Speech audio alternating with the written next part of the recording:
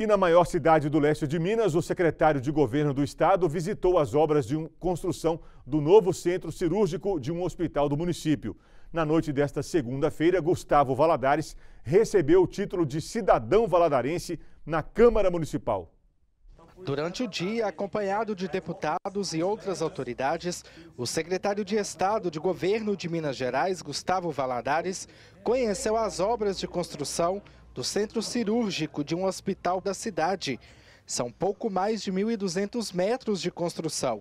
A obra representa um avanço na saúde do município e tem previsão de ser entregue no ano que vem. Essa área da saúde é uma área muito cara para nós, para o governo do estado. A gente sabe da importância de Valadares para a saúde de toda a região. Então é provável que nos próximos dias a gente tenha boas novas para a área da saúde, investimentos em saúde. Fora isso, o prefeito tem trabalhado conosco na, na, nas, em reivindicações com questões de obras de infraestrutura, questões de investimentos na área da educação, muita coisa está para sair aí. Eu espero que em, em breve os deputados daqui de Valadares, que defendem essa cidade constantemente na Assembleia e na Câmara Federal, junto ao governo do Estado também, que eles possam, possam anunciar essas boas novas aí nessa parceria com o governo do Estado. Já na parte da noite, o secretário foi para a Câmara Municipal de Vereadores no plenário, ele foi homenageado com o título de cidadão valadarense pela prestação de serviços que colaboram com o desenvolvimento social. Eu digo que não há nada, não há nada mais prazeroso na vida pública do que um reconhecimento, uma homenagem como essa.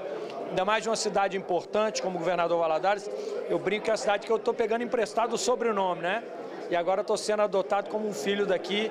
Então, muito feliz, honrado, é, isso me dá mais ânimo para continuar na vida pública, já são 20 anos de vida pública e esse tipo de reconhecimento nos faz ter ânimo para poder continuar. Então, é, é, são importantes atos como esse para nos dar mais ânimo para continuar seguindo na vida pública.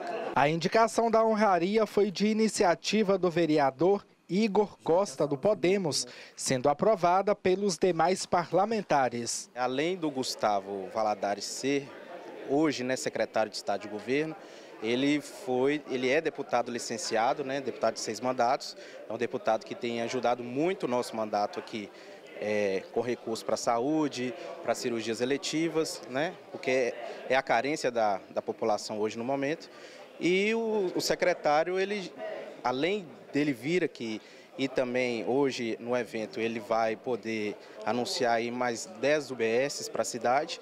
Então, além de uma relação de amizade e de amigos, né, profissional, é, eu, eu resolvi contemplar o Gustavo com essa, com essa homenagem.